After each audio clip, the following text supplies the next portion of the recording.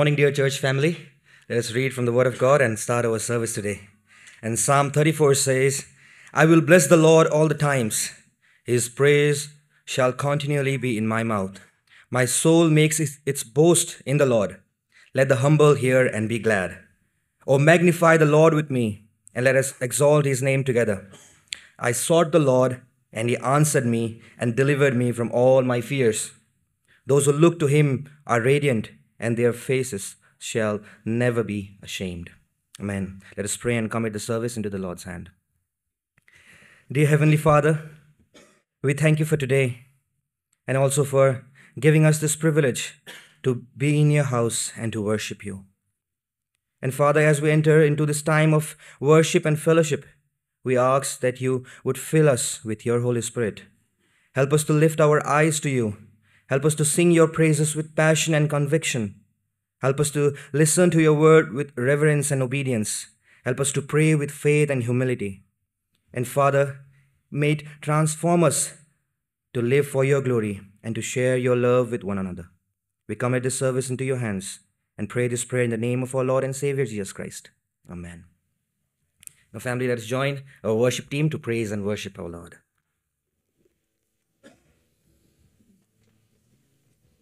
Shall we all rise and worship together?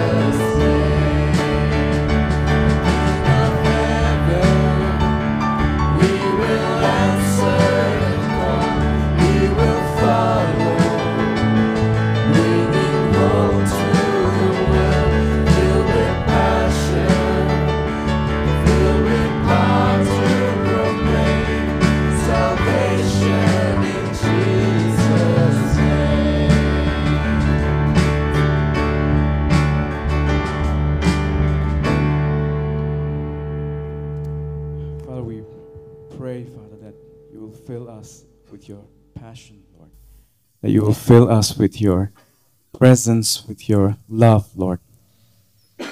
That you will fill us with your power, your power to proclaim your name, Lord. The message you bring, the gift of salvation, Father, that is free for all, Lord. Fill us with your love and power and your courage, Lord to hear your call and respond and to go, Lord, as a church, Father. Thank you for hearing our prayers, Lord.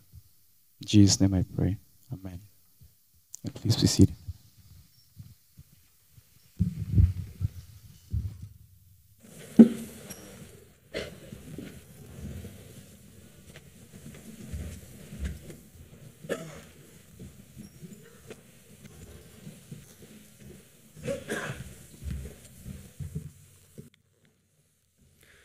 Uh, thank you, worship team, for leading us beautifully into worship. Uh, 2 Corinthians 9:11 says, "You will be enriched in every way to be generous in every way, which through us will produce thanksgiving to God." Dear family, let us give thanks for the past week. Lord, we thank you for the weekly ministries, for the midday meal, ladies' prayer meeting, men's prayer meeting, prime timers visit, Lord. We thank you, Father, and we welcome back Brother Nicodemus worshiping with us and Sister Mridula. Father, we thank you for Brother Mani, Turkey, and Sister Manju, blessing them with a baby boy. We are thank you, Lord, for blessing them. Father, we are thankful for those who celebrated their birthdays last week. We thank you for Gaiseliu, Jaden, Rakuzia, Joash, Yamrin. And today, as they celebrate their birthday, Sister Anita Koshi, Brother Sudipto, Sister Tammy Zimik. Father, thank you for adding one more year in their lives. Father, we thank you for the anniversaries of Brother Samson and Sister Simi Kamson. And Father, we thankful as Brother Sunil Vadva and Sister Mary Vadva, they celebrate their anniversary today, Lord. We thank you for their wedding anniversaries. We ask your blessing upon them, Lord. Father, we are thankful for all the blessings you gave us past week, Lord. We pray this prayer in the name of our Lord, loving Jesus Christ. Next, we'll have Vita and children's talk. Thank you.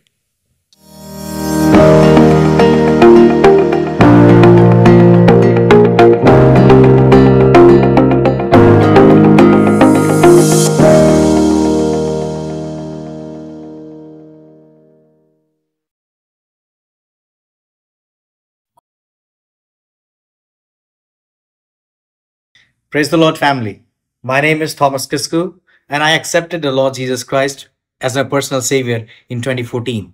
After my schooling in 2016, I went to Lucknow Ashram for Bible course. I completed the Ashram course and then I got the opportunity to come to Delhi Bible Institute Bible Bhavan.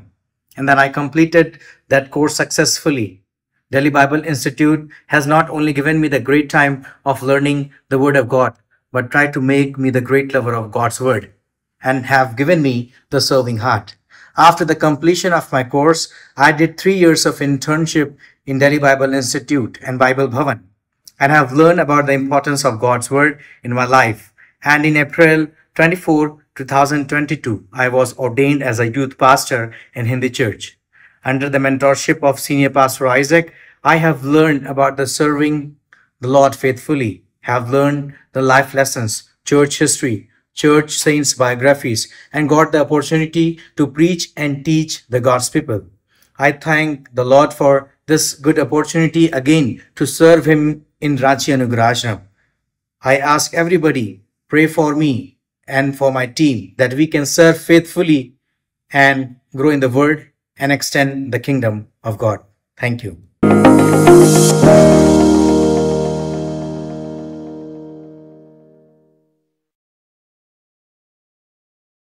Good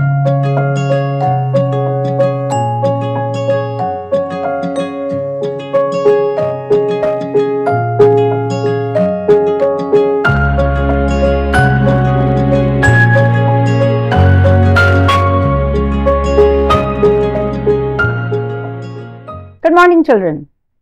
What form of government do we practice? We are a parliamentary democracy. The role of the people is wise in the eyes of the world. But in the Bible, God shows us that when men rule and have nothing to do with God, things unravel. There is only one king we must bow before. Who is that, Myra? I know no other king other than the Lord, and his name is Melech. Melech. Melech means king. Now, that's a common word and can be applied to many kinds of persons of authority. In the first books of the Bible, God doesn't use the title king, but from the structures presented to us in that portion, he makes it clear that his people are under his kingship. The Old Covenant is set up in language that reflects the treaties of a suzerain, a big king, and his vassal, a smaller king. The ark and tabernacle represent the throne and the royal tent of the king in the midst of his people. In later books, the call to see God as king is clearer, and God's portion of all his providence that his people owe him is a tenth, a tithe. A king demands complete surrender. Only then can he be your savior. Now look at Jesus. He steps off the throne. He has no home of his own. He dies for his people, saving them from sin, and he takes on their shame and rejection. What an unusual king. And all he asks for in return is our surrender, so he can save us. Do we reflect our king in our love, forgiveness, and humility towards others? Are we ready to join the chosen few who can come to his throne room? Today, the door is open. Let's pray. Thank you, Melech, King Jesus. You step down from your throne, you sit at our table, you call to us, you carry us, you look for us like a shepherd, you live in the fields with us, and you are found among the poor and the lowly. You do not lord your majesty upon us, and so we can come to you. You are the king we don't deserve, but the king we absolutely need. We bless you, Melech, King Jesus. I pray that not a single person in this hall, in this church today will f- miss the chance of calling upon your name. And thank you, Father, for sending us your Son, the King who was willing to die for his subjects, taking on their shame, their sin, their faults, and doing it willingly. Thank you, Father, for raising him from the dead, vindicating his role as our righteous King, our righteous Melech. In your precious and wonderful name, Melech Jesus, we pray. Amen. Family, we are in that part of our worship this morning where we bring our confessions before the Lord. I will lead you in a prayer of confession, and when I pause, that will be your opportunity to bring your personal confessions before the Lord. Let us all confess.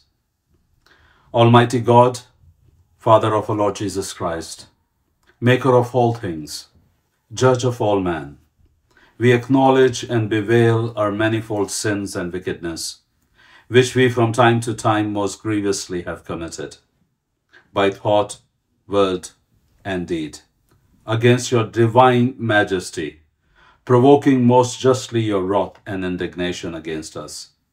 We earnestly repent and are heartily sorry for these our misdoings. The remembrance of them is grievous to us, the burden of them is intolerable. Have mercy upon us. Have mercy upon us, most merciful Father, for your Son, our Lord Jesus Christ's sake. Forgive us all that is past.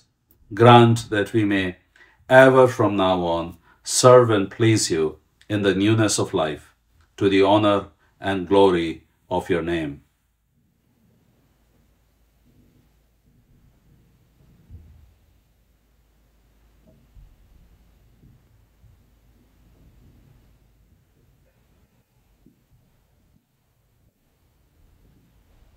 Through Jesus Christ our Lord.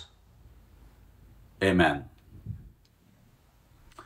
Receive these words of assurance of pardon. Purge me with hyssop, and I shall be clean. Wash me, and I shall be whiter than snow. Let me hear joy and gladness. Let the bones that you have broken rejoice. Hide your face from sins and blot out all my iniquities.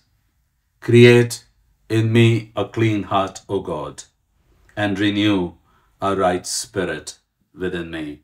These were taken from Psalm 51, verses 7 to 10. Shall we bring, family, the needs of the church before the Lord in prayer? Let us all pray.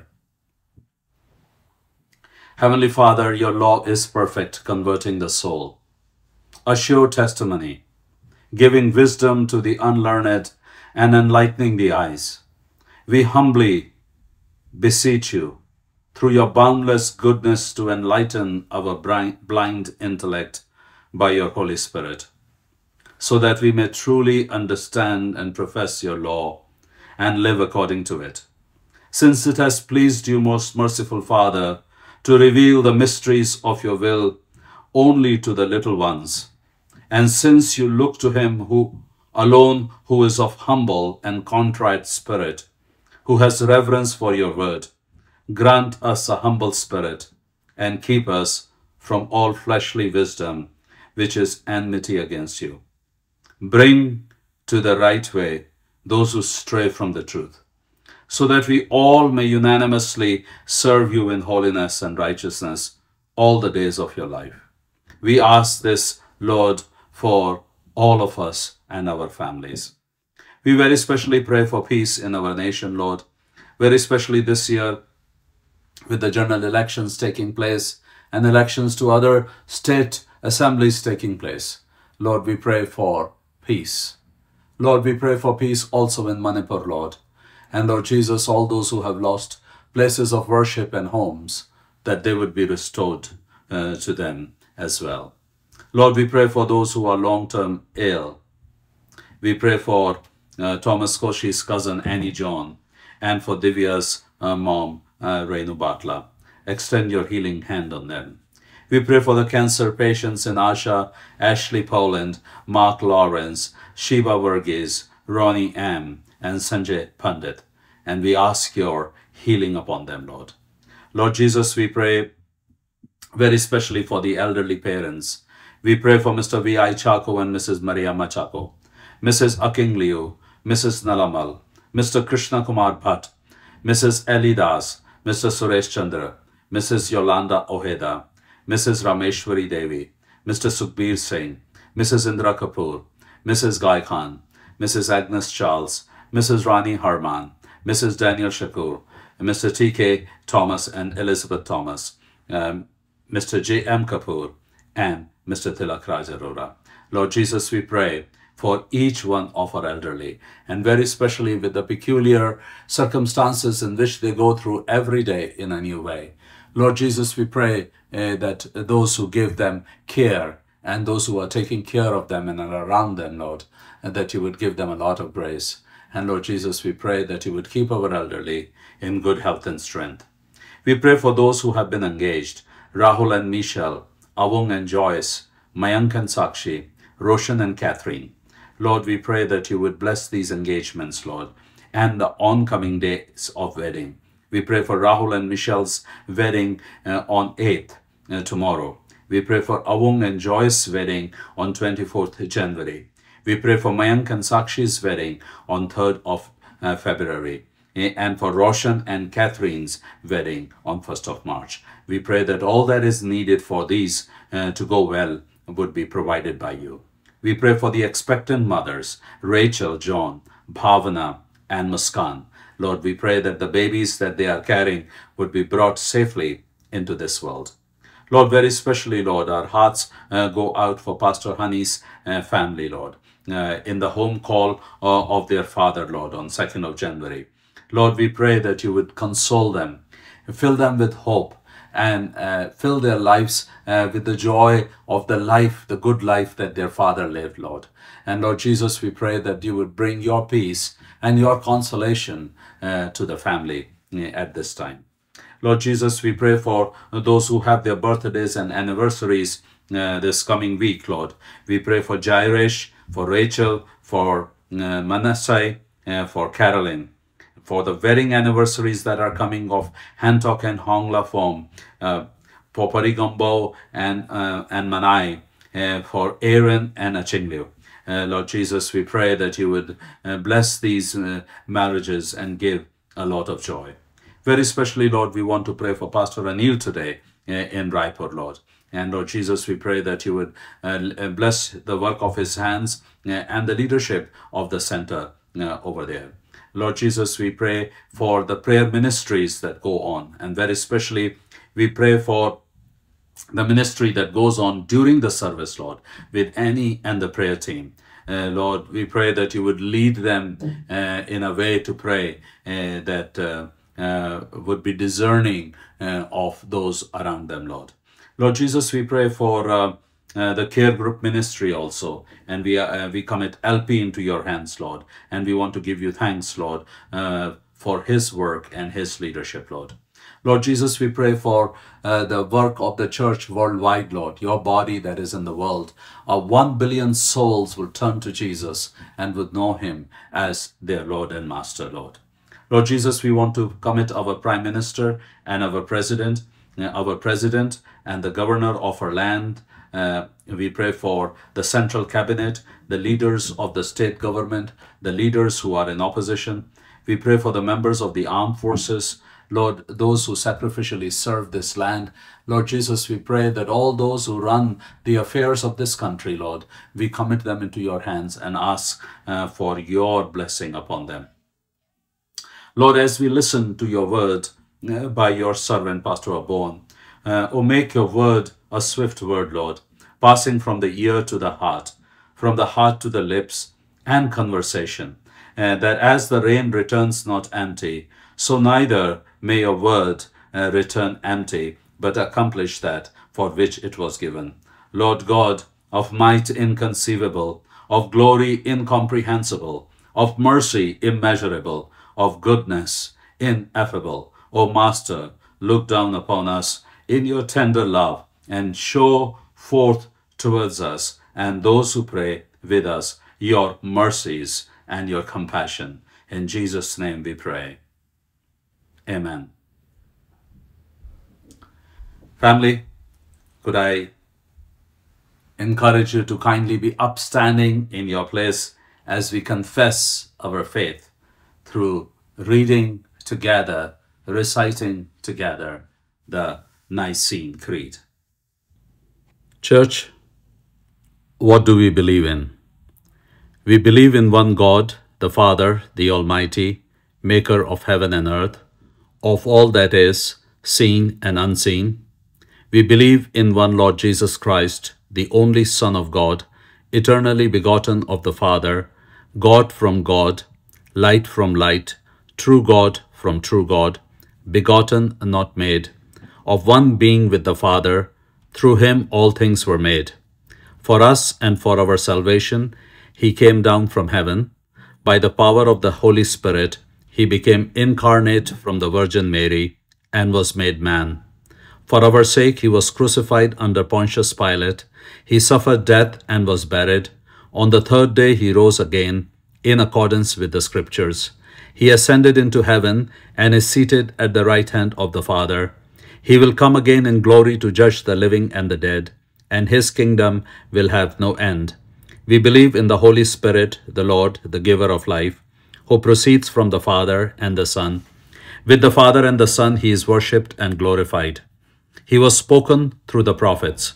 We believe in one holy universal church. We acknowledge one baptism. We look for the resurrection of the dead and the life of the world to come. Amen. Kindly be seated.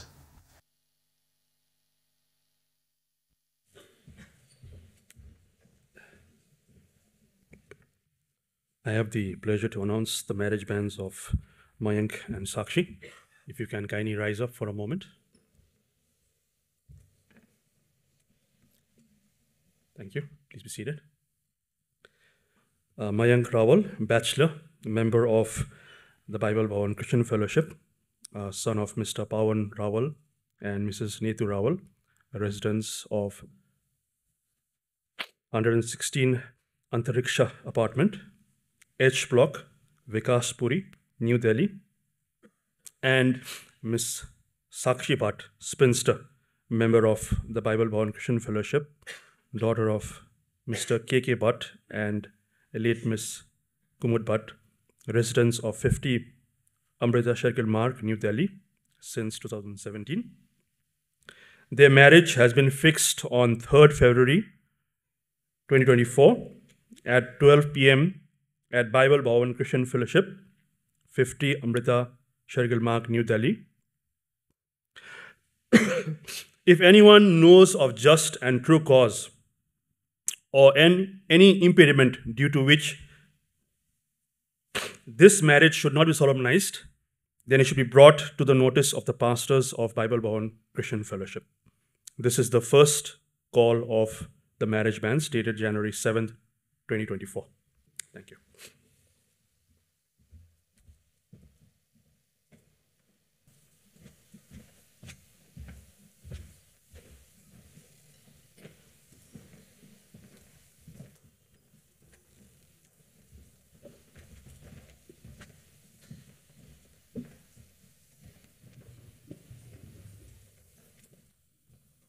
It's time for the junior church children, teachers, and volunteers to leave for the Bible classes.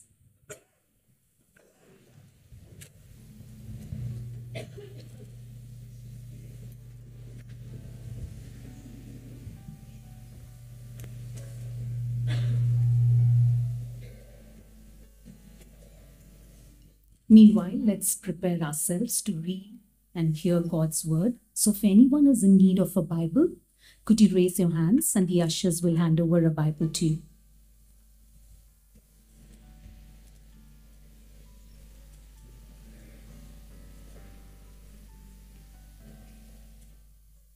Thank you, team. A gentle reminder to switch off your mobile phones or keep them in silent mode to avoid any interruption while reading or listening to God's word.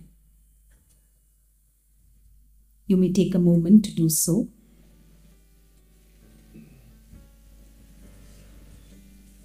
And for any emergency purpose, you may need to step out of the premises. Kindly use the back door and not the two doors at the front. Shall we all rise to sing the pulpit hymn?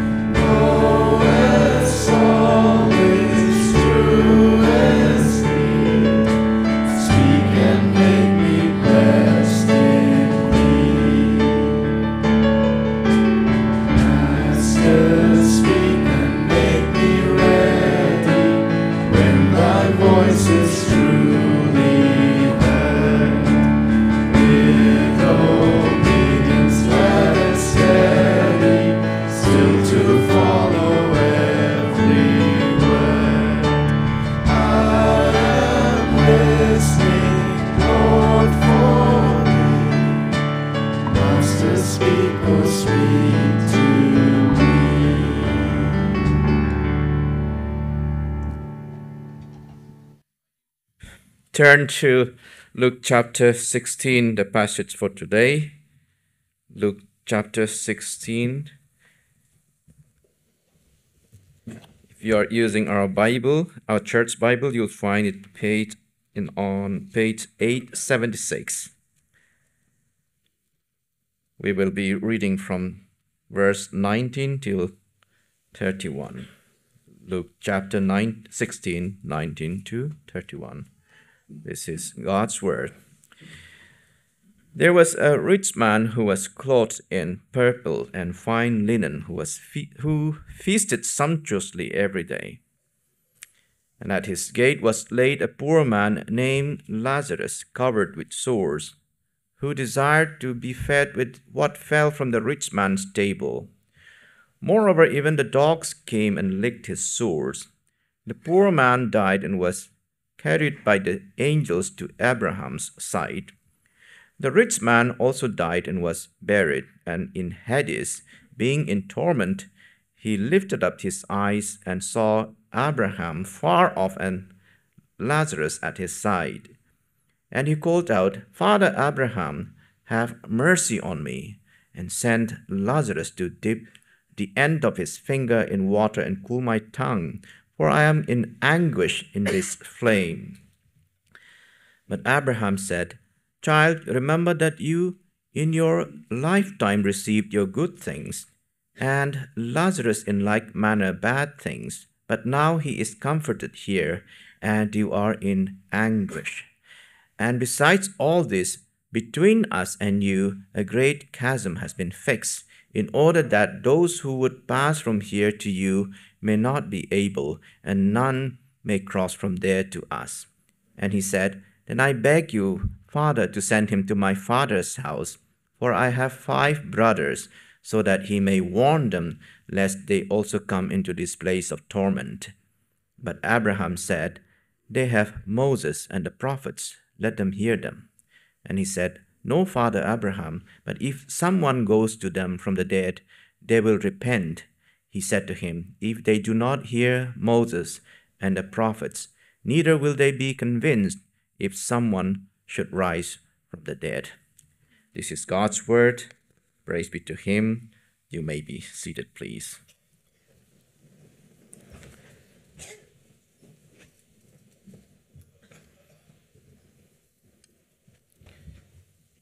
Let us spend a moment in prayer asking the Lord to help us.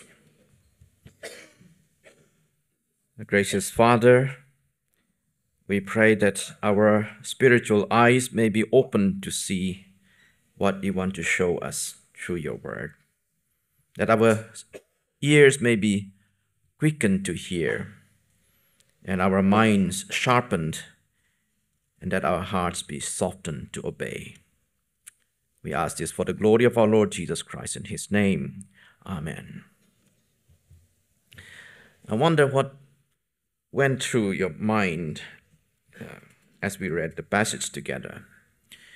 An artist like Michelangelo can portray a powerful image of what is being conveyed in this passage.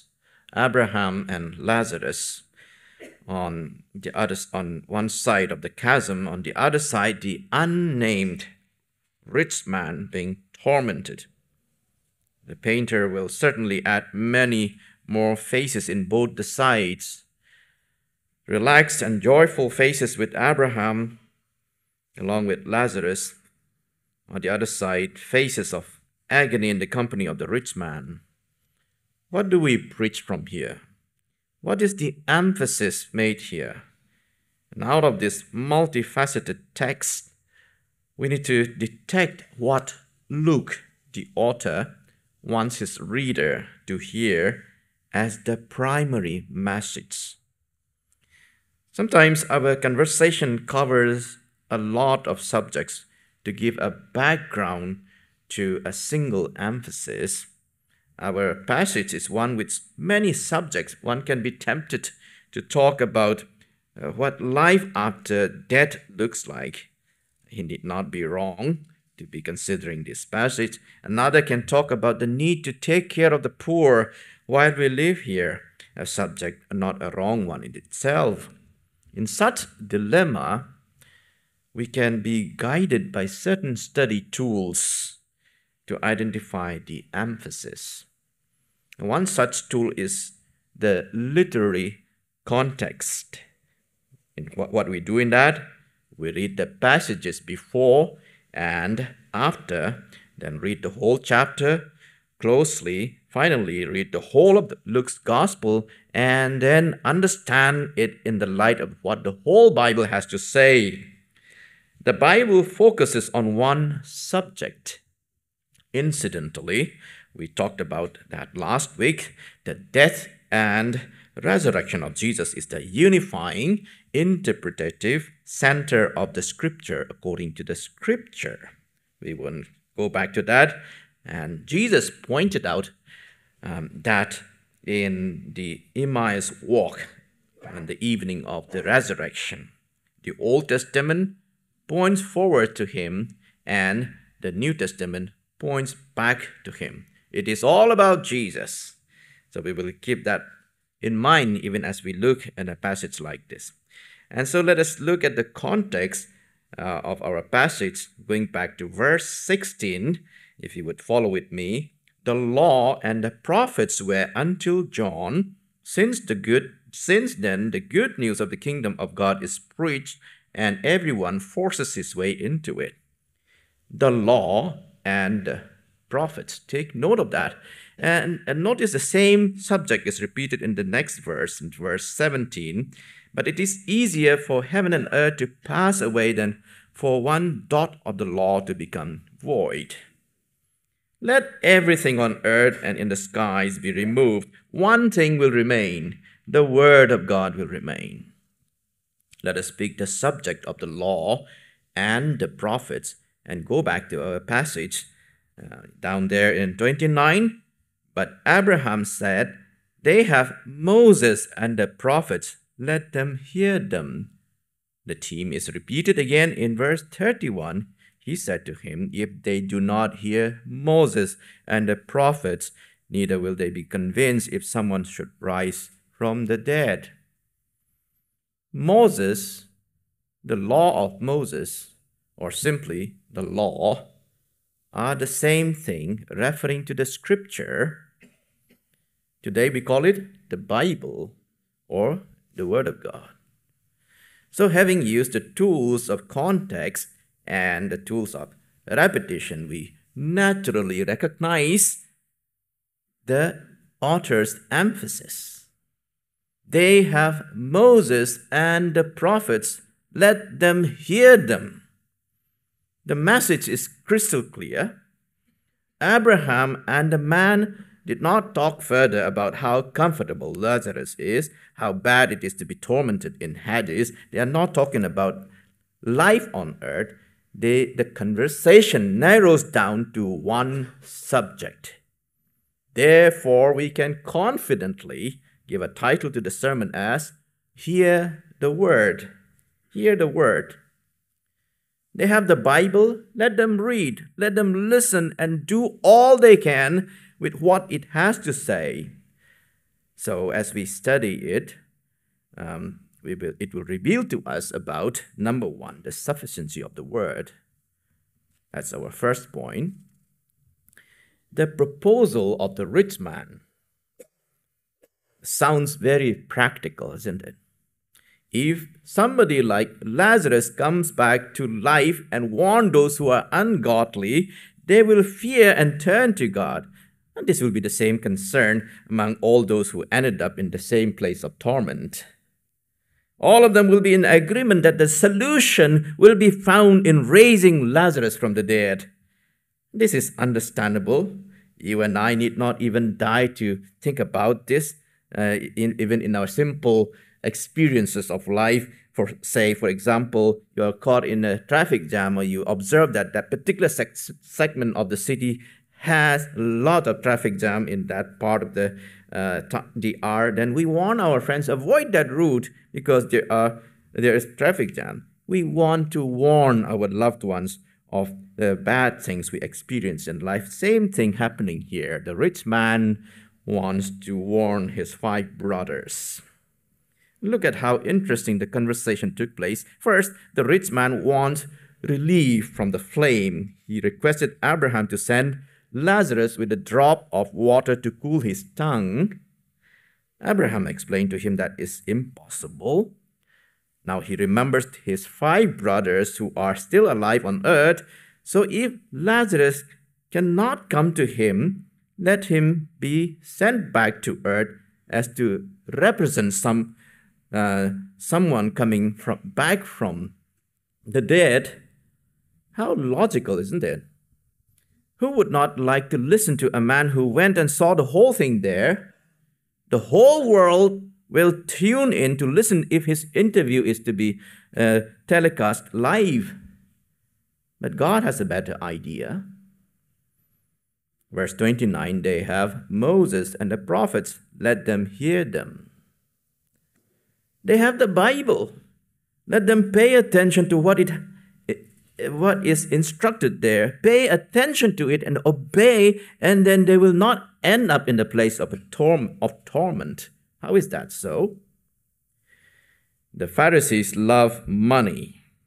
Going back to the context in verse 14, verse 14 tells us that they will do anything to safeguard their means of getting rich.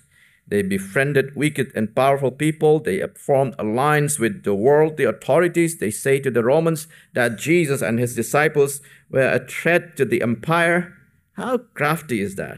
Conveniently, they worked out their security. They need the protection. Although they are the experts in the law of Moses, being the Pharisees or the religious leaders of the time, they don't want to do anything with it, however.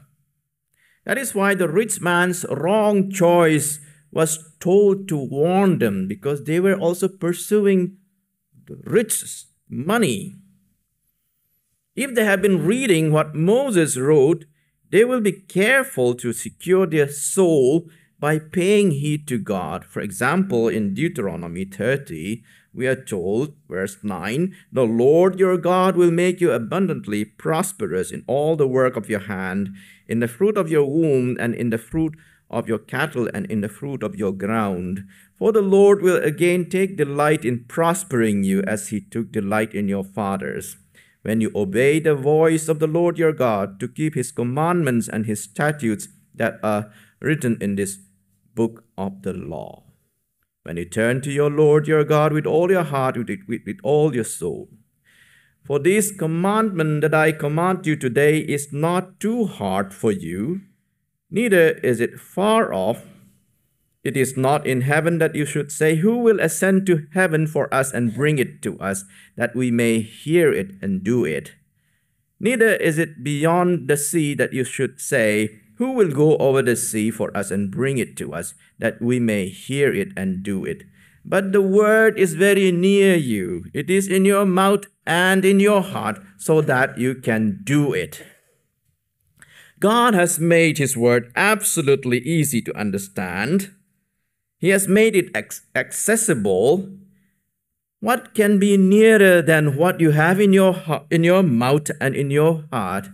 And he goes on to say in verse 15 See, I have set before you today life and good, death and evil. If you obey the commandments of the Lord your God, I command you today, by loving the Lord your God, by walking in his ways, and by keeping his commandments and his statutes and his rules, then you shall live.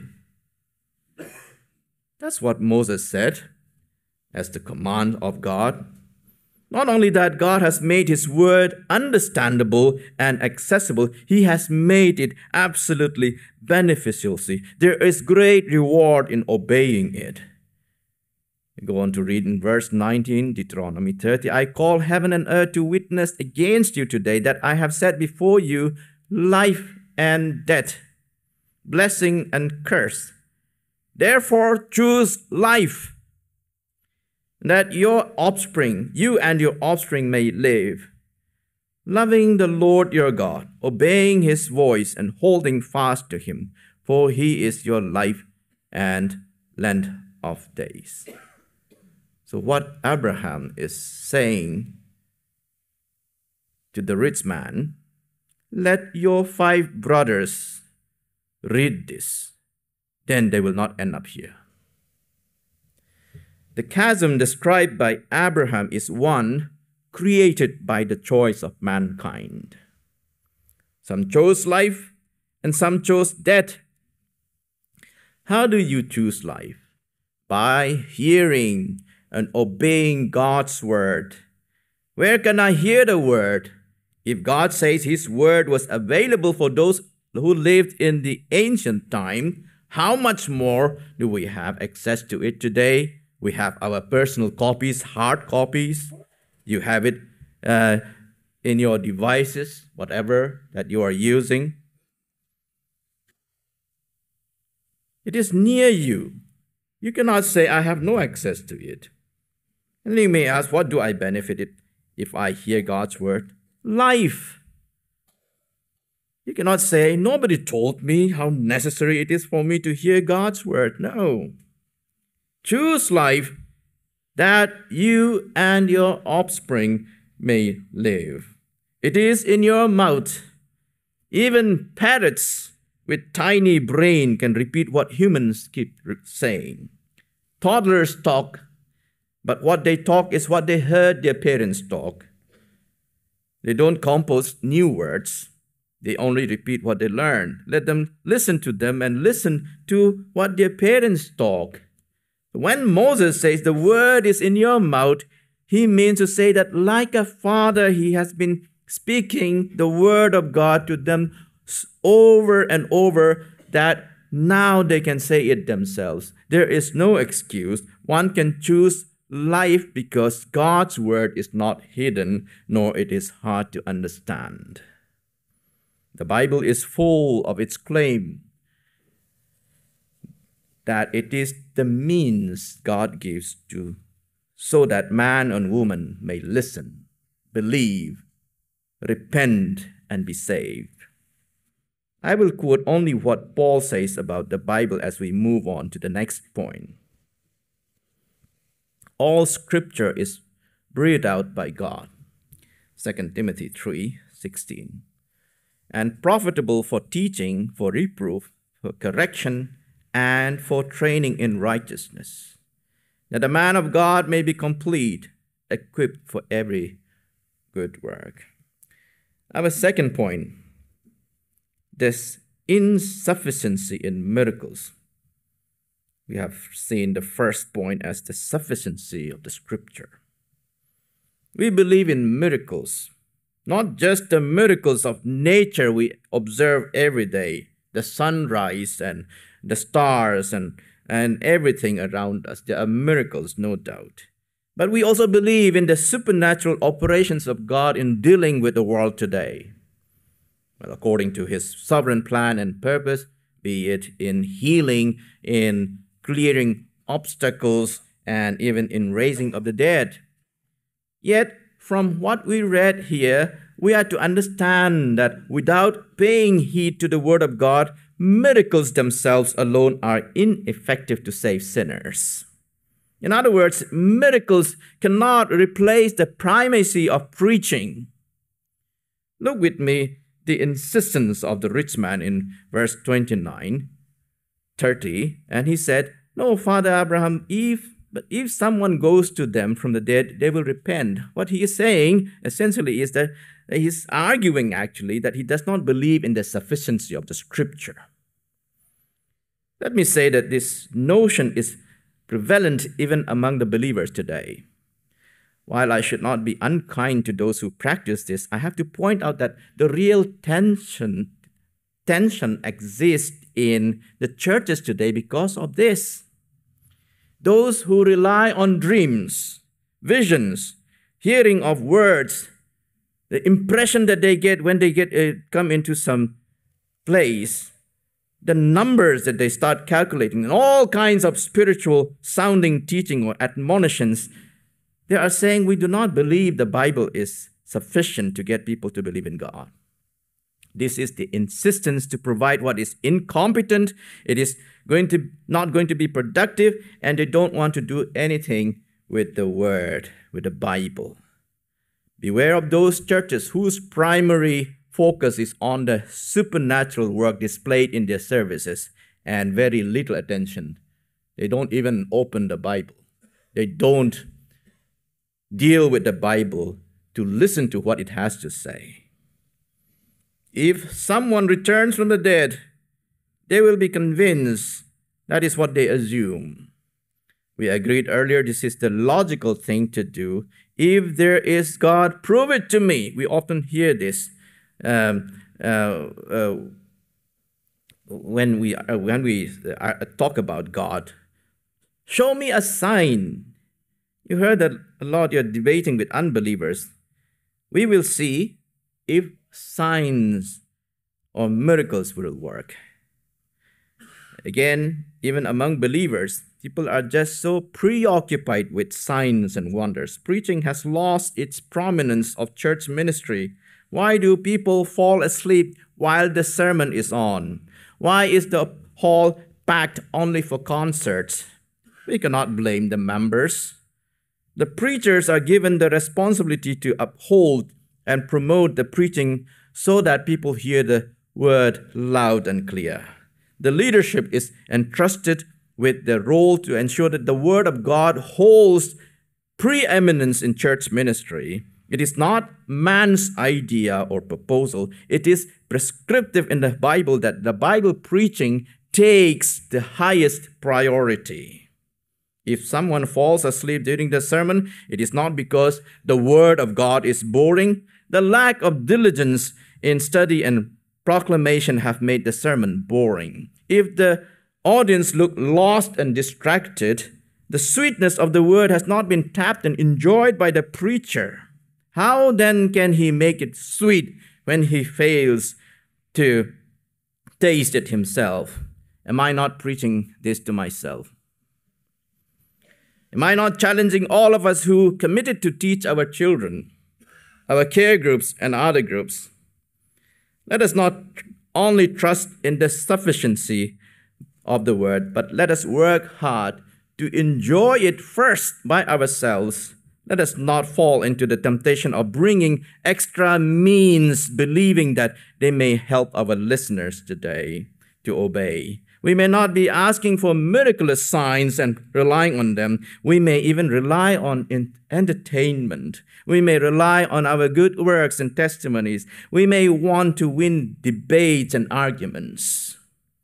Let me repeat we believe God can do miraculous works today. I want to repeat it just to make sure that I don't get misunderstood. Expect miracles as the outcome of faith.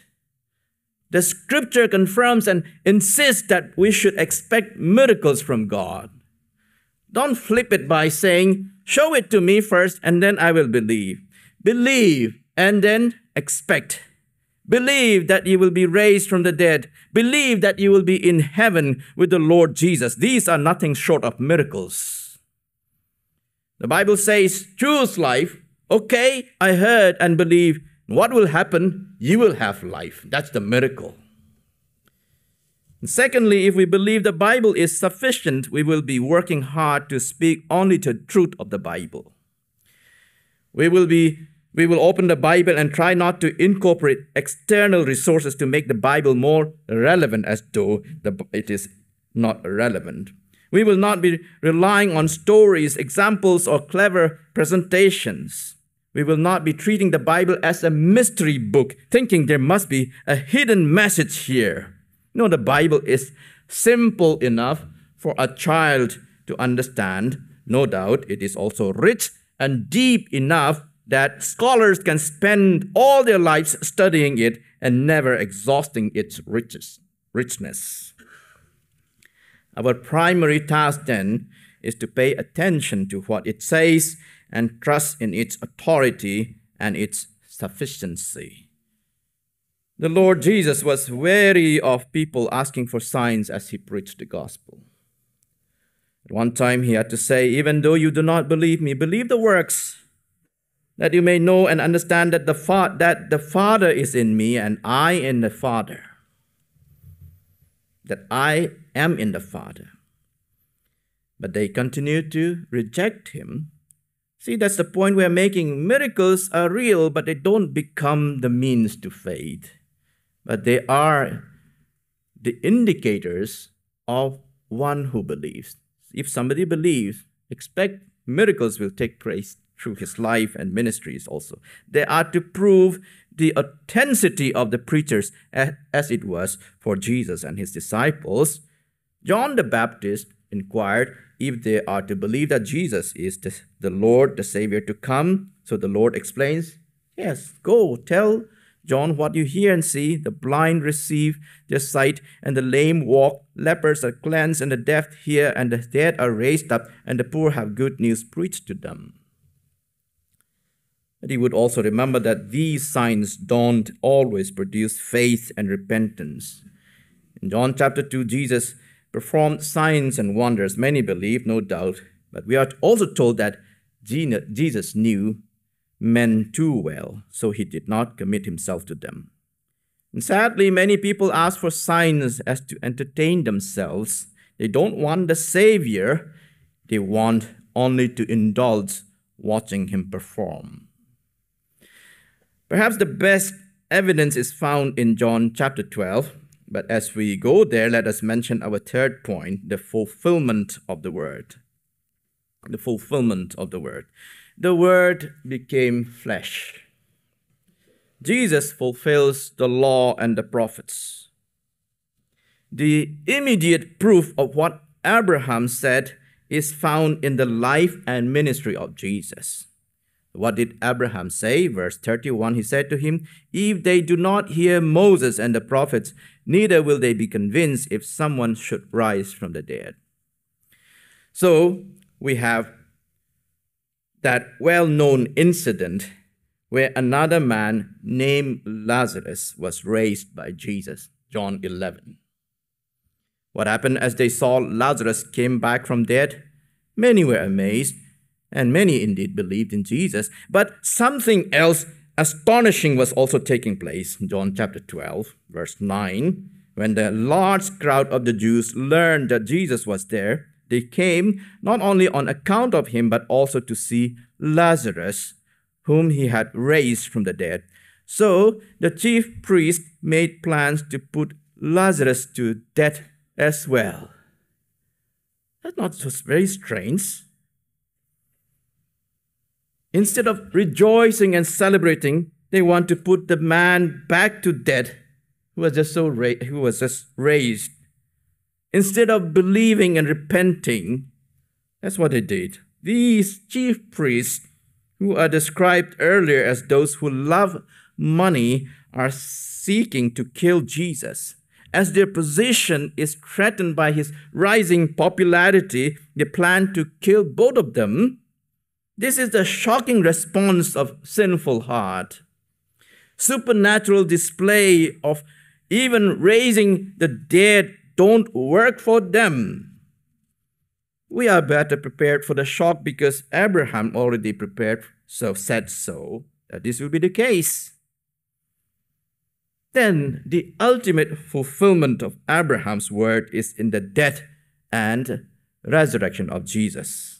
Let us jump to that event when Jesus rose from the dead. The same crowd of religious leaders, along with the soldiers, were up to something again.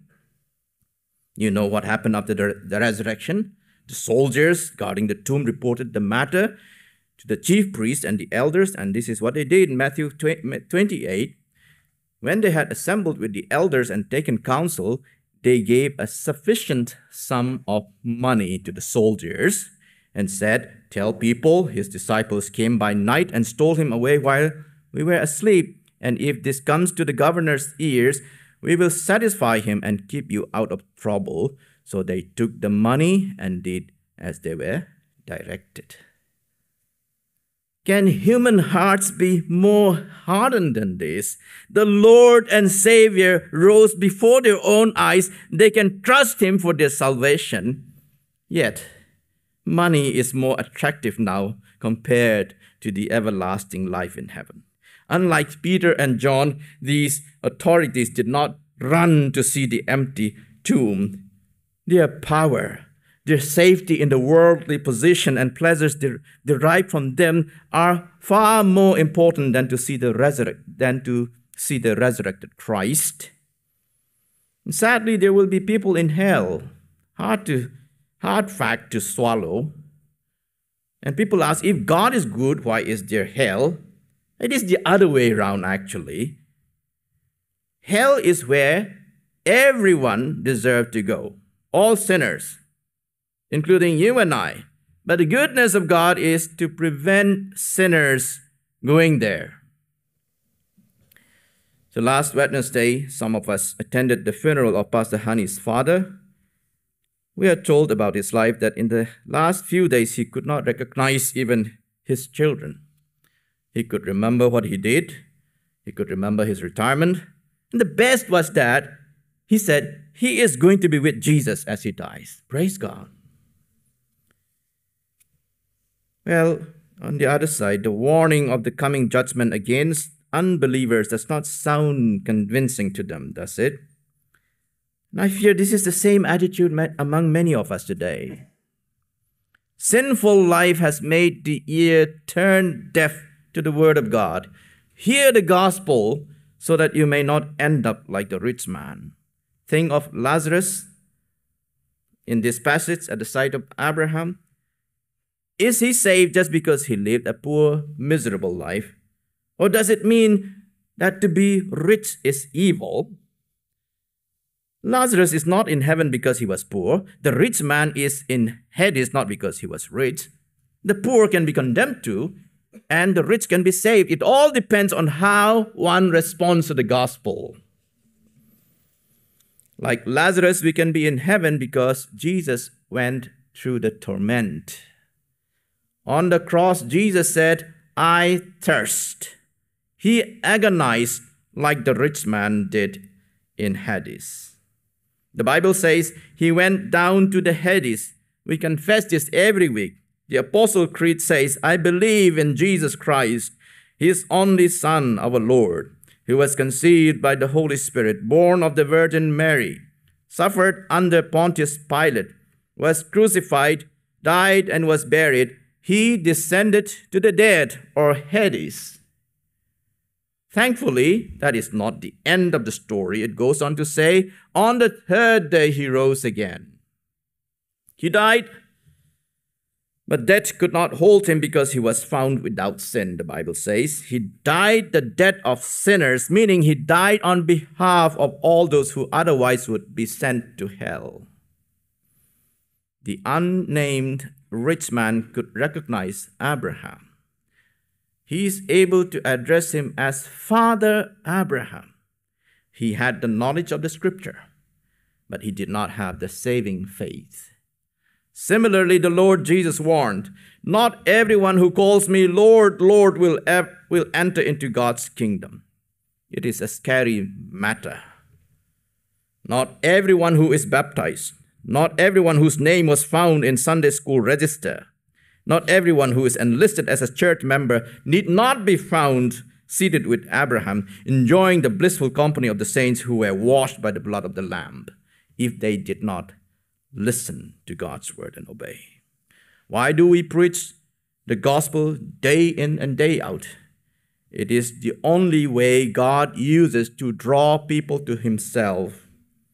Does it matter who preaches it? No. It is in the faithfulness and the soundness of the preaching and teaching that the Lord will bless and bring forth fruits. Are you teaching our children? Are you leading a care group? Youth, women, men, be encouraged. Don't look for immediate results. Immediate results may happen from time to time. The question is whether there is consistency and faithfulness and soundness in your teaching. And so we are glad to announce that workshops on principles of Bible exposition will be held on the last Sundays of the month.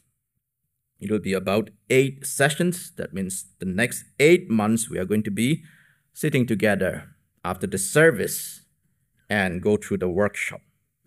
It is mandatory for those who teach the Bible in any department of BBCF ministries the invitation, of course, is also open for all because it will still be helpful for personal Bible study or if you're leading family devotion. Many of us speak in other churches, I understand, and let us learn together. Secondly, we are very encouraged to get a good response for the community Bible reading plan. So, till last night, 30 people have signed up uh, it is good because it is a platform of accountability and encouragement. You highlight a verse, and the group, the whole group will see. It's like Facebook. You get to see what people are doing. You finish reading it, the group will see who has finished reading. So our team last week at Bible Bhavan did a research, research and found a suitable one. If you read four chapters a day, spending about 15 minutes daily, you can finish it in 350 days, 53 days, not 365. So we still have 359 days left this year, being a leap year. You would have received the link in one of the WhatsApp groups sent again uh, last night and this morning. And if you did not receive that, you can leave your details at the front desk if you want to receive and be part of this community. If you want to read the Bible in private, that's absolutely fine. Personally, I find it, uh, I find strength in community efforts, be it in reading or in prayer. All right, let us summarize and close. The rich man is thirsty. Abraham could not cool his tongue. Then he thinks about his brothers. Still, Abraham could not raise Lazarus. It won't work if the scripture is not paid attention to. Here is Jesus who came down from heaven, even better than Lazarus sent by Abraham. The Creator Himself came down. He raised the dead, including Lazarus. Sure enough, raising the dead didn't work for those who would not listen. He went across the chasm. Jesus, he suffered like the rich man, although he was sinless. He died and rose again. Still, it did not work for those who would not listen. And he is still speaking today. In Revelation, we read, I died and I am alive forevermore. I hold the keys of Hades and death. For those who believe, we are never tired of hearing the story again and again, especially when we are in doubt and when we find ourselves struggling in sin. We are never tired as we often sing. Tell me the story of Jesus. Write on my heart every word. Tell me the story most precious, sweetest that ever was heard. We love to sing. We love to hear. How about you? Hear the word. Would you? Yes? No?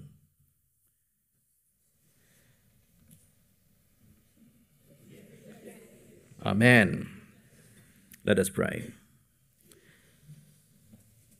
Father, just one thing we want to go away from this place that our ears may always be tuned to hear your word. Never let the noises in, of the world silence it. Never let our sinful desires pursue other things apart from seeking you in your word. Let your word remain in our hearts, enabled by your Spirit to keep thinking about it and to respond in whatever practical manner we can in our private reading, in our group reading, in the workshops that we are looking forward to be part of. Help us, Lord, that we may step out of our comfort zone for the sake of growing and maturing in you. This is for the glory of our Lord Jesus Christ, we ask in his name. Amen.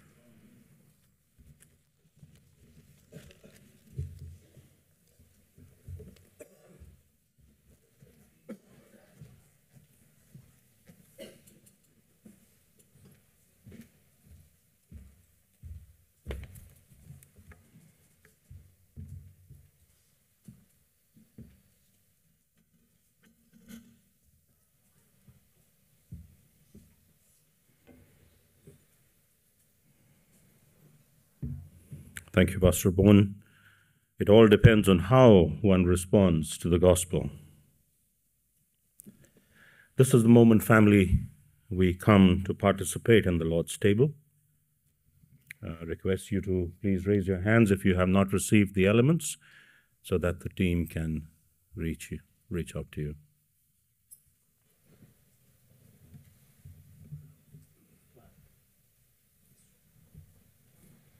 you.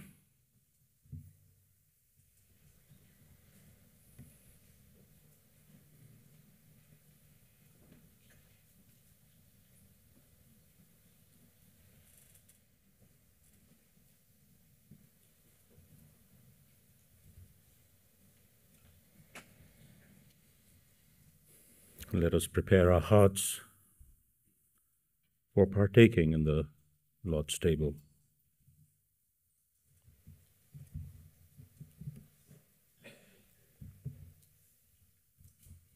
Is there anybody who has not received?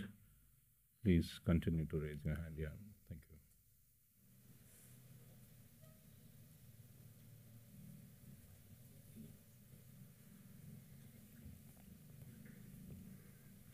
It is important that we come in confession and in self examination because we do make mistakes. We do go astray and we do distance ourselves from the Lord knowingly or unknowingly. Let us not think that we are worthy. So, family, let's just pause for a few moments and then I will lead you in giving thanks for the elements.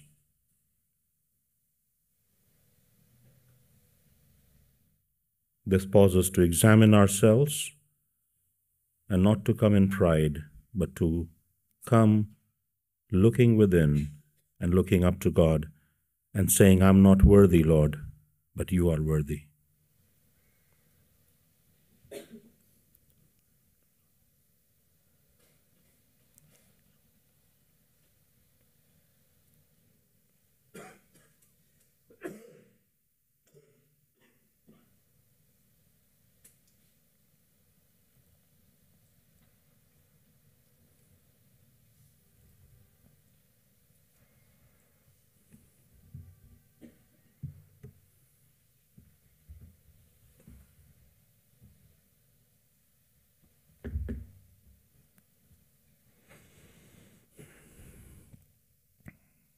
Let's pray. Our dear Heavenly Father, we want to give you thanks for your salvation plan for us sinners. We want to thank you, Lord, for your Son, our Lord and Savior Jesus Christ, who was faithful and obedient to you, Father, to the point of death on the cross. Father, we thank you that you raised him from the dead, and the third day you glorified him, and you have set him at your right hand, and in him you have promised forgiveness of our sins, our salvation, and also the resurrection of this body. Lord, we take this bread in remembrance of the broken body of our Lord Jesus Christ. This body was broken for our sins, and even when we drink this juice, it reminds us of the blood of the Lord Jesus Christ that was shed on the cross for the washing away of our sins. We are grateful and are thankful for your love for us and for this great salvation plan for undeserving sinners like us. We give you thanks. In Jesus' name we pray. Amen. Family, let me remind all of us that this is for those who walk with the Lord.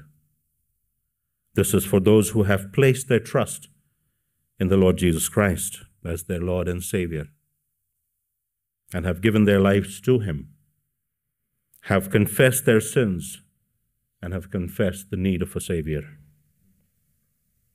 All those who know Him as Lord are welcome to take part. If you do not know the Lord Jesus Christ as your personal Lord and Savior and Master, we appreciate that you're here. But we also, but we would like you to kindly observe and not take part. I would like to read a warning from the scriptures from 1 Corinthians chapter 11 verse 27 to 29. It says, Whoever therefore eats the bread or drinks the cup of the Lord in an unworthy manner will be guilty concerning the body and the blood of the Lord. Let a person examine himself then, and so eat of the bread and drink of the cup. For anyone who eats and drinks without discerning the body eats and drinks judgment on himself.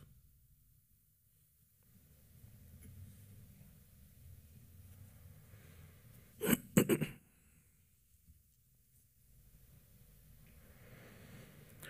Lord Jesus, on the night when he was betrayed, took bread, and when he had given thanks, he broke it and said, This is my body,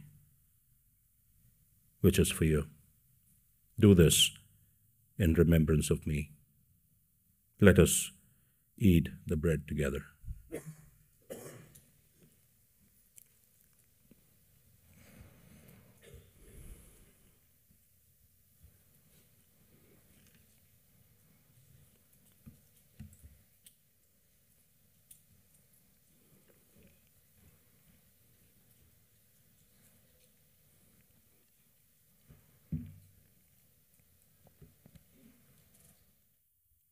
In the same way, he also took the cup after supper, saying, This cup is the new covenant in my blood. Do this as often as you drink it, in remembrance of me. For as often as you eat this bread and drink this cup, you proclaim the Lord's death until he comes. Let us drink from the cup together.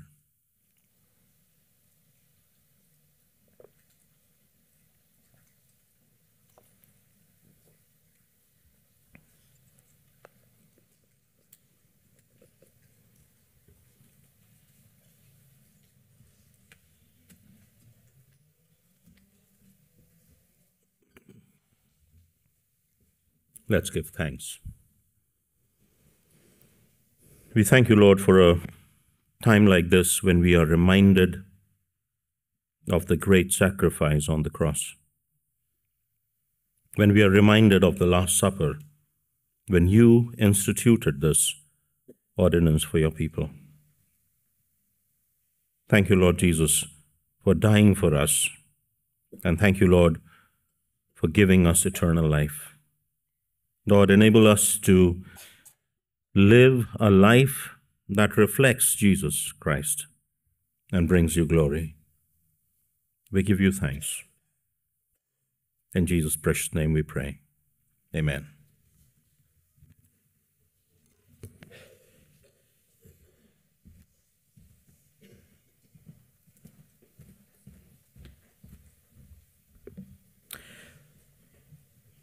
Family, the Word of God encourages and invites us today that we pay heed to it while there is still time, and that it's not too late to start hearing and obeying the Word of God. In response to the Word of God uh, and the in obedience of it, it is time for us to the to respond to it. So let us bring our offerings and our tithes.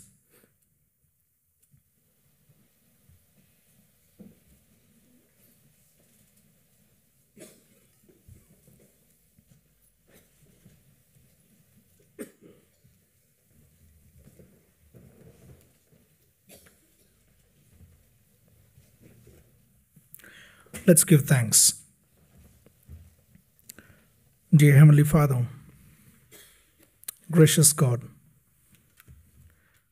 Lord, we thank you for the reminder this morning that our true wealth lies in abiding closer to you by reading your word. And Lord, that everything we possess is temporary. And so, Lord, we wholeheartedly bring these offerings and tithes and seek your blessings on them. And we pray that you would keep the passion within us to use these resources for the advancement of your kingdom and betterment of the church till the North India hears the gospel.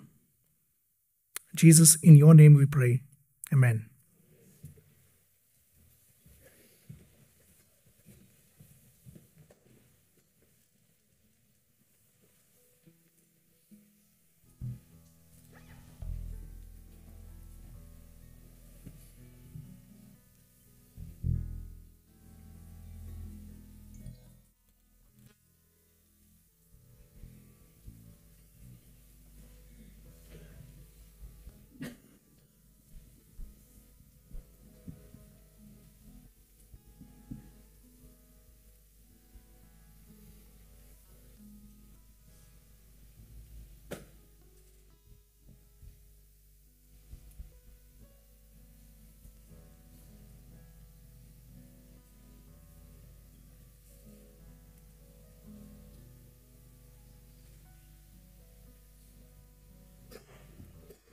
Shall we all rise for the closing song?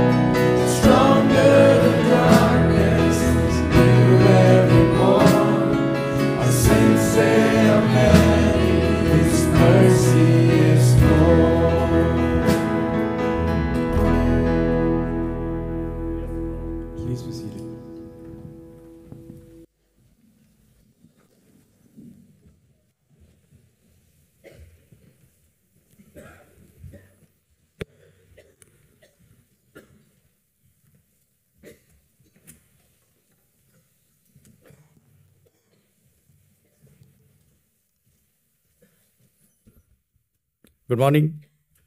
And we thank you for joining us uh, here at Bible Bhavan as well as all those who are joining us online.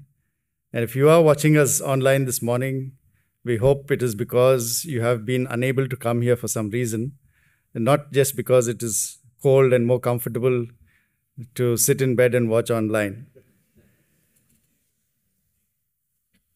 We would also like to welcome Brother Navneet Chabra, uh, who's worshipping with us this morning. Welcome, brother. Just a few announcements. Uh, we do have events right through the week as we start off with the year 2024. And you'll find a snapshot of these events on the screen. But if you want more information about them and if you want to refer to them, you can get onto our website that's www.biblebhavan.org. You also have this uh, small sheet which has been given to you as you came in. That's the spring calendar for the next three months. And you can call our church admin on the number which is shown, that's 8860634892. If you're here at Bible Bhavan, the front desk will be active, and today we'll have Chui and Shekinah at the front desk. Thank you. You'll get more information from them regarding our events and programs. Special welcome if you are visiting with us. If you are here for the first time, we'd like to give you a copy of the church brochure. May I request you to raise your hands, please, if you're here for the first time.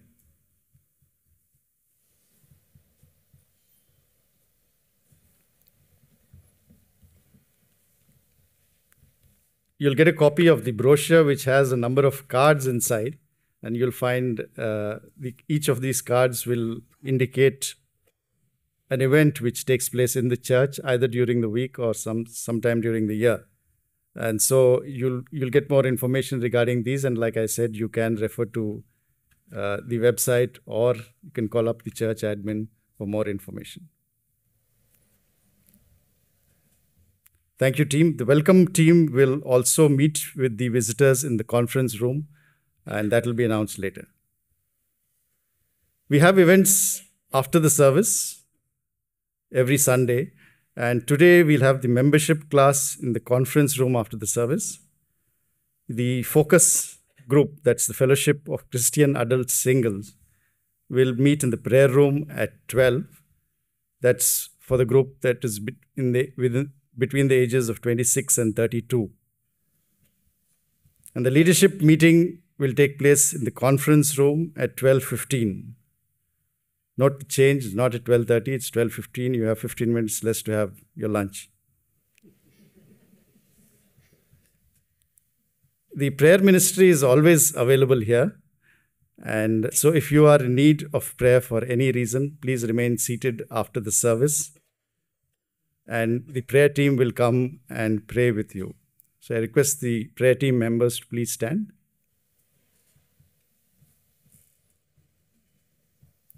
there are a few members at the back as well. Thank you.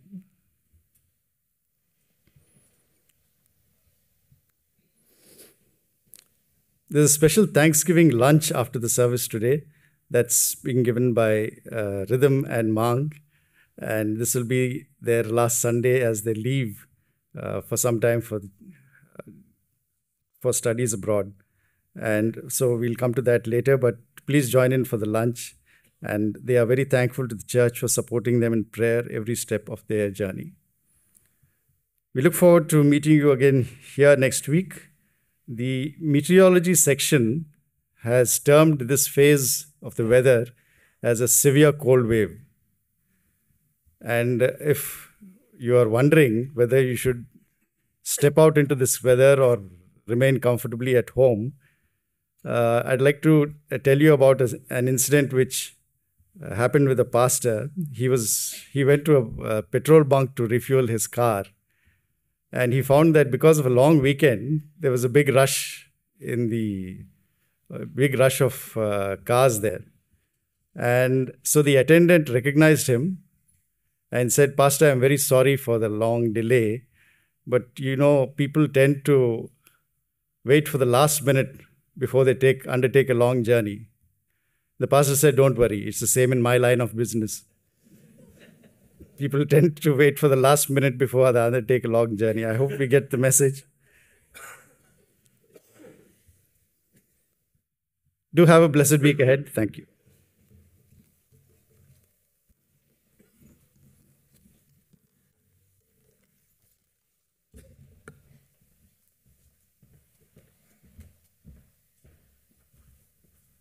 Well, it's a bittersweet moment for our church as we are going to be sending off our um, dear friends, lovely ones from our midst. So I will ask uh, uh, Pastor Thomas Gisku to come forward, followed by Mang and Rhythm. I would like also to invite the pastors, all the pastors in this church to come to come up on stage Pastor Andrew, Pastor Namgil, Pastor Ruben is has Pastor Ruben left. All right, let's begin with uh, Thomas, Pastor Thomas. Um, personally, I, I met him first in Lucknow Anugrah Ashram, as he was mentioning in his testimony. I studied in St. Mary's, or what was St. Mary's School in Lucknow. And after that, I found him doing ashram course and asked, "Oh, why, why are you doing ashram course after your class 12? He said, I could not produce my domicile certificate to do BA. I thought that was not really a big thing, but anyway, you continue, and then I, I talked to Pastor Isaac. I think we should have Thomas come to Delhi. And as he mentioned, he came to do the preaching course. He did very well. After that, he joined as an intern. And during his time here, he completed, he graduated from Delhi University also, and uh, the BA pro, uh, BA honors. Okay, and currently he is pursuing MTH. So this guy is worked very hard, both in the in the church, in the institute, and personally, uh, also uh, as a student of God's word, and then ordained as a youth pastor. And uh, we are sending away one of the best workers uh, in the leadership uh, training, leadership principles.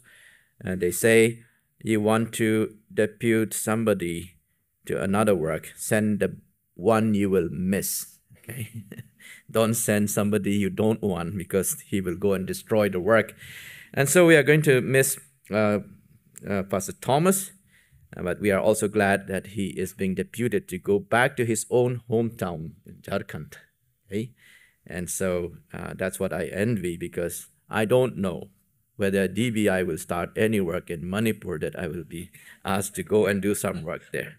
But here is our brother going back to his home hometown, not as a student, but as a pastor, as a regional leader. And uh, our blessing for you is that may the joy of the Lord be your strength, so that you'll be found faithfully serving till the end. We are giving this to Mang and Rhythm, okay? But uh, we're not giving one to Pastor Thomas because we are preparing his luggage full of Bibles, thousands of them. That's what we do. We send boxes and boxes of Bibles so that they are distributed. And uh, we, we give this to Mang and Rhythm not because they don't have one, but it's just our symbol that this is what we uphold, this is what brings us together in the church, and this is what we pursue. That in times to come, we will that we will hold on to this, like Pastor Isaac would say, uh, do not hold hold loosely to the, rest of the things in this world, but hold tightly to the word of God. I can't repeat exactly what he said, but that's uh, the essence of what what I was we're saying. Mang and Rhythm, Rhythm came to us a li- as a little girl, 2006. I remember uh, summer Bible camp. We would remove all these chairs, and the children were made to sit here. And Rhythm would sit and be part of the summer Bible camp, and then she she never uh, left us. And uh, um, she, she was active in the junior church, graduated, and then soon after graduating from junior church, she became the leader of church now. Led it so well, and then she continued till today as one of the deaconesses. And she is flying away. I'm not very good during farewell, um, trying my best uh, not to break down. Uh, Mang, in his short time with us, was uh, such a joy to have him. You spoke in the church now meeting, and uh, I don't know what else you did, but uh, a lot of time you, you saw him holding camera and going to the corners, and later in displayed on the screen beautiful pictures. So in the within few months of his time with us, uh, Mang had contributed so well. We are very honored to have uh, the, the butlers with us, Rhythm's parents and Rhythm Sister uh, Divya, uh, to be part of this uh, little bye bye that we say, hoping that we will meet again, even in this in this life. So, uh, Pastor Andrew, can give this to to Mang and Rhythm.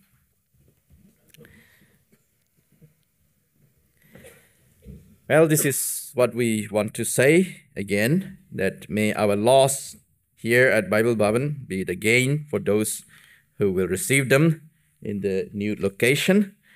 Uh, the more joyful we will be, the, mo- uh, the more success and blessings you receive. Mang is going back to the US, to Kansas City, Missouri. He will be pursuing um, what is called a leveling course, Masters in Theology at Mis- Midwestern Baptist Theological Seminary. And they will be leaving on the 10th of January. And uh, as announced, we are going to enjoy a meal sponsored by Mang and Rhythm. So let us look forward to that. Okay. Um, did I leave anything? Shall we be uh, upstanding to support and to extend our blessing as I lead in, in prayer? Uh, Father, we come to you uh, in this moment, thanking you as we look back to the years that you have given us. And we are thankful that in, in the real sense that what began well also ended well. And, and so this is because of your blessing. We do not take this for granted. At the same time, we acknowledge that we are feeble people. So, as our dear ones, Mang and Rhythm, as they leave to be far away from us, we pray that uh, you will help them to recognize your presence in their lives. Because your promise is that you will be the Emmanuel, not just once in a while or when we pray to you, but that is your promise that you will be with us forever. So, in success and failure, Lord, we pray that they may be given the courage to call out to you in humility, giving praise to you for success, and humble enough to acknowledge failure and to repent and to come back to you and again and again. We pray for your protection from pride, greed, covetousness, love of money, and all forms of worldliness. They are so abundant everywhere. Every step we take, these are the things chasing us. We pray, Lord, that you would keep them from there. We also pray that true selflessness, enabled by the indwelling of the Holy Spirit, thereby transforming them in the likeness of Christ, be real, not by their own effort, coming out so spontaneously as real that they may be seen as self-giving people for the as servants of the Lord Jesus Christ. We pray for fruitfulness in ministry. We pray for more breakthroughs in what they want to achieve for you, in degrees, in their marriage, children, and uh, ministry opportunities. Grant us, according to your grace, also that we may get to meet each other again, in, even in this world, even as we are very certain and secure that we will one day be in your presence forever. Thank you again for Pastor Thomas Gisku. We look forward to many testimonies of your blessing under his leadership. We pray that you will also give him a God fearing woman to be his wife, who will stand and serve together in your house. We pray that you will give him wisdom, skill, knowledge, and ability to lead his team, that he would be able to identify with his team members and with the servant heart that he may serve there. Protect him from the dangers associated with living in that particular city and the state. And also, we do pray that you will help him to recognize the opportunities that you provide him. And that the churches, the leaders, and the community of your people he meet there will be source of great encouragement. May they be used in great manners that the kingdom of our Lord Jesus Christ will be established, the church strengthened, your people matured. All these things for the glory of our Lord Jesus Christ, we ask in thanksgiving. Amen. Please be seated.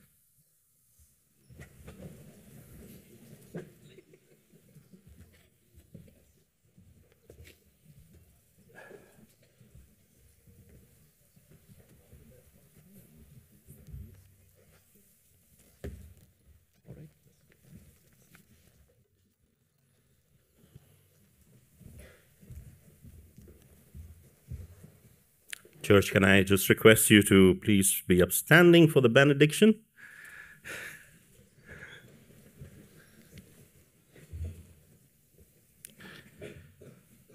Now, to him who is able to keep you from stumbling and to present you blameless before the presence of his glory with great joy, to the only God our Savior, through Jesus Christ our Lord, be glory, majesty, dominion, and authority before all time and now and forever.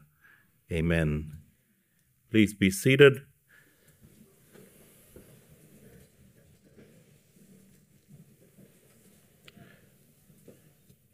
The service has come to an end, but we do have some some more things. We are so happy to have uh, uh, Michelle and Rahul and their family and friends uh, with us today. Welcome, and a very warm welcome as they look forward to their wedding tomorrow. Today we will also be um, we also have the care groups uh, that will meet right here in the in the church just for five ten minutes to pray together to update their records if required and and then we will we will move out and as we move out as uh, after the care groups have met i will request uh, mang and rhythm to be with pastor Abuan right there and pastor thomas as well so that people can meet you as well. So if if i can request the care group leaders to just um, stand up where wherever they are. We have your lists and signboards and and uh, thank you so much.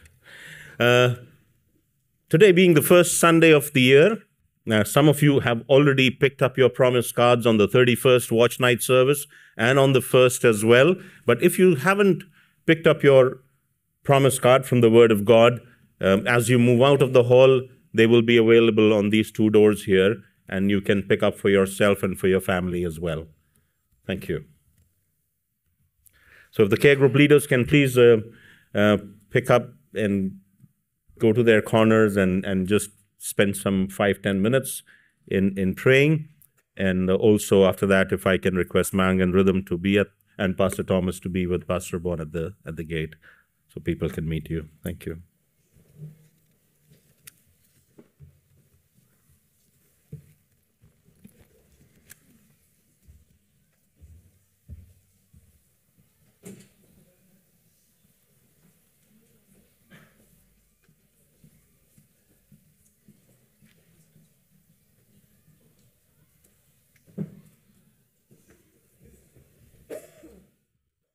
Ah, I missed it again.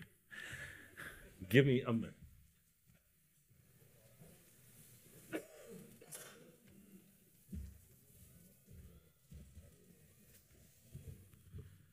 We have Brother Trichow and Carolyn, and and and uh, Andreas and Divya, if you're here.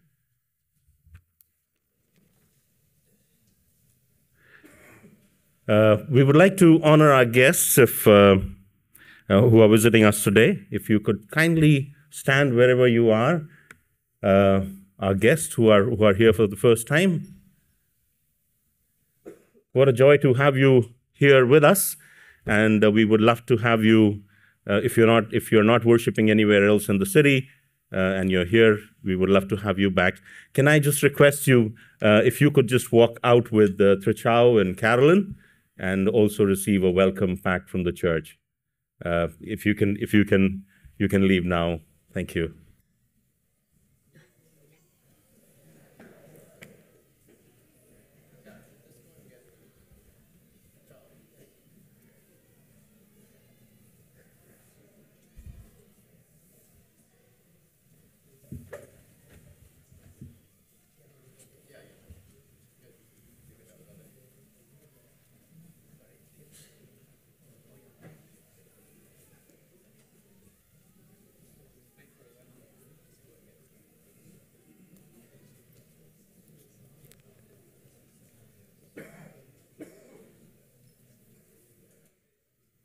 Thank you. The care groups can meet, and then we will. Please don't go away. We have a special meal uh, sponsored by Rhythm.